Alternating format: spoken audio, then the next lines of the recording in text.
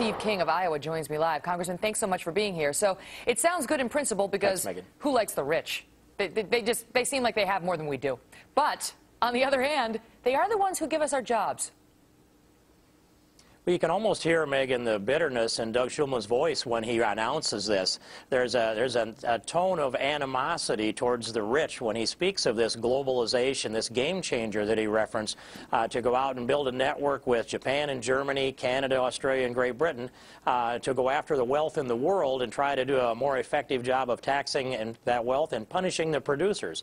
You know, no one ever got a job from a poor person, and this country is founded on free enterprise capitalism. That's that's a basic principle of American exceptionalism. This president has said about the sharing the wealth mantra that he pointed out so well to Joe the, Joe the plumber and building an administration that goes out and does that. Money and capital is going to go where there's the least resistance. Uh, that's why these corporations have been chased overseas in the first place. Now they want to chase them off of the globe. There seems to be an assumption uh, that the rich are dodging the tax laws.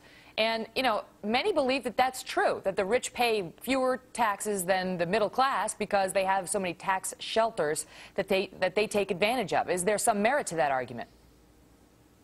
Well, there's, there are tax shelters, obviously, and they're created because of the IRS code in the first place and their effort to chase this money down. The other side of it, there are varying statistics, but uh, one that I recall that I, I, can't cite the source, though, is that the top 1% pay about 40% of the taxes. So uh, any way you look at it, the poor aren't paying any taxes, any net taxes. The middle income people are paying a smaller percentage of the taxes, and the richest are paying far, far more as this tax policy moves forward, and they are poised to accept now a tax increase as the Bush tax cuts expire, with this administration not just poised to extend them, but to make sure that they end and increase taxes. So I think this is an anti-business climate. We've watched this president stand and support the initiation and then follow through on the nationalization of eight huge private sector entities, three large investment banks, AIG, Fannie Mae, Freddie Mac, General Motors, and Chrysler. That's about a third of the private sector profits. Now we have health care essentially nationalized on top of that, and they're reaching out to chase down corporations around the globe and working in conjunction with those other countries I mentioned. This is an anti-capitalism, not just an anti-corporate administration. And I fear for my country if we can't stand on the principle of free enterprise, Megan. what's going to happen now? I mean, you know, you mentioned the things like health care, and already the tax rates are going up on, on the so-called rich, and now we see this special tax group dedicated to just basically, you know, following them and looking through every line item on their tax returns and so on, uh, as if, you know, there is a, arguably a presumption that they're doing something wrong in terms of hiding dollars. You know, what happens? Do they go over to a country like Ireland, which has, you know, minuscule tax rates compared to the United States, or do you actually foresee an exodus of business in this country? Well, an exodus of business in this country and an exodus from businesses that have already exited this country and gone to places like Ireland, where the last time I was there, there were 560 American corporations that had changed their domicile to Ireland for this very tax reason. They may have to move and go to another country that's more favorable, and, and I don't know exactly where that will be.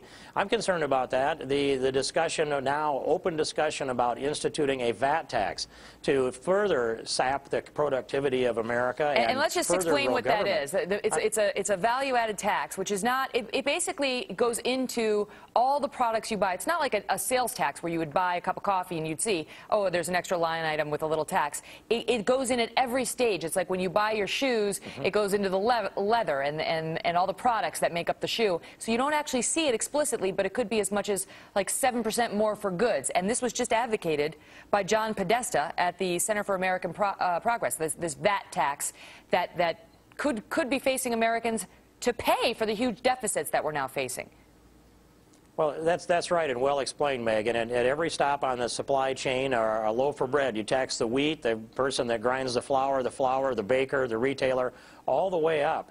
Uh, Europe has, has had this for some time. That, that is something that is just chilling to free enterprise and chilling to investment.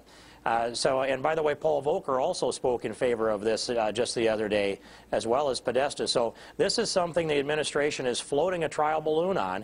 And, you know, until the American people get their back up, and I mean completely get it up, and they got it, they, they got, they stiffened their spines very well against Obamacare and didn't quite get that killed That needs to come out 100%, by the way. But we're going to need a greater effort yet to fight off the tax increases as we're seeing the nationalization incrementally of corporate America going into the hands and the control of the White House. This is so, this is so un-American to take away free enterprise and tax it at every stop and grow government to the point where what is left, uh, eventually, if you follow this path, it'll just be the butcher, the baker, and the candlestick maker that maybe don't quite feel the direct reach of the White House. Meanwhile, on April 21st, Okay. they're brag- dragging the CEOs before Congress to browbeat them for complying with the law. Well, uh, we appreciate your ins- insights on it, Congressman King. Thanks so much for being here.